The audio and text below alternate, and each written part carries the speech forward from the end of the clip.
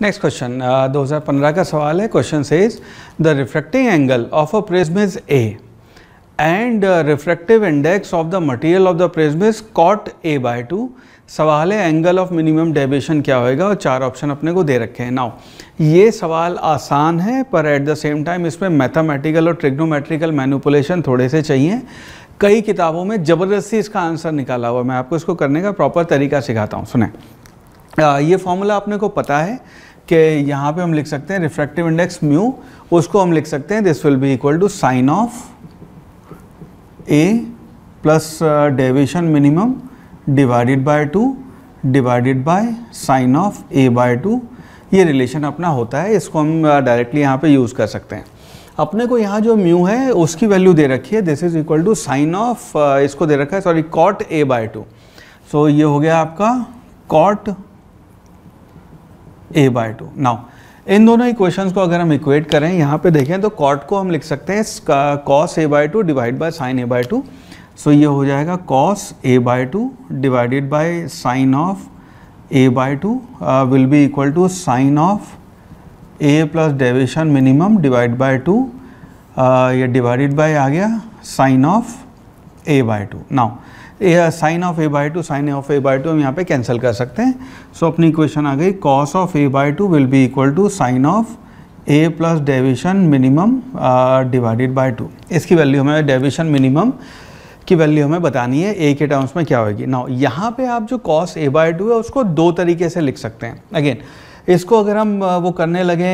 Sign A by to को हम expand करने लगे एग्ज़ाम हॉल में कैसे करना है, तरीका बताता हूँ। इसको अगर हम एक्सपेंड करने लगे, हमें पता है साइन ए प्लस बी क्या होता है, sine A cos B cos A sine B उससे अगर हम इसको एक्सपेंड करने लगे तो फंस जाएँगे, उतनी बढ़िया ट्रिग्नोमेट्री की ज़रूरत यहाँ पर है नहीं।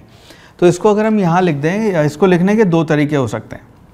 Right right? इसको पहला तरीका ये हो सकता है कॉस ए बाय टू को आपने लिखा साइन ऑफ़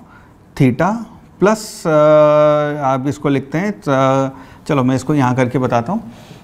कॉस थीटा जो भी कोई कॉस थीटा है, उसको आप लिख सकते हैं दो तरीके से। उससे आप लिख सकते हैं साइन ऑफ़ 90 माइनस थीटा या फिर उसको आप लिख सकते हैं sine of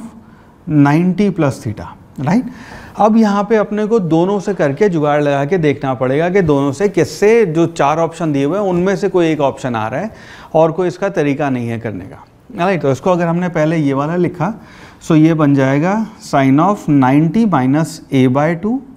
will be equal to sine of इसको ऐसे लिख लेते हैं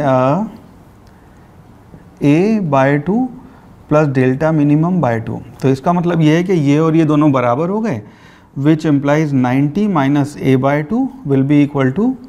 A by two plus delta minimum by two दोनों तरफ़ अगर हम टू से मल्टीप्लाई कर दें ए बाय टू इस तरफ़ ले आएँ तो अपना जो है एम्प्लाइज डेल्टा मिनिमम की जो वैल्यू है जो हमें चाहिए टू से मल्टीप्लाई करके ये हो जाएगा 180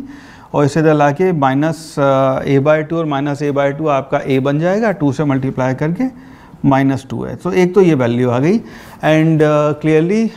this is option number D so based on this हम कह सकते हैं कि D might be the right answer right अब एक काम करते हैं, इसको और यूज़ करके देखते हैं। ठीक है, इसको जब हम यूज़ करेंगे, यहाँ पे सेकंड पोर्शन जब हमने यूज़ किया सेकंड पोर्शन है जिसको हम यहाँ पे कह रहे हैं कॉस ए बाय टू को हमने लिखा sine of 90 plus A by two will be equal to sine of A by two plus delta minimum by two right तो दो एंगल का साइन बराबर है तो दोनों एंगल बराबर होंगे हम ये कह सकते हैं तो इसको अगर हम एक्सपेंड करें तो ये बन जाएगा आपका, ए ये बन गया आपका 90 plus A by two will be equal to A by two plus delta minimum right दोनों तरफ़ delta minimum by two right तो अगर हम इन दोनों को uh, वो करें A by two A by two दोनों कैंसिल हो जाएगा टू से मल्टीप्लाई करें सो आपका डेविशन मिनिमम जो है वो आ गया 180 degree right so deviation 180 degree आपका देखेंगे तो डेविशन आपका 180 डिग्री हो नहीं सकता मिनिमम डेविशन 180 तो ये वाला ऑप्शन सही नहीं होएगा एनी anyway, चार ऑप्शन में दे नहीं रखा है right so based on this हम कह सकते हैं कि option number D 180 eighty minus two A would be the right answer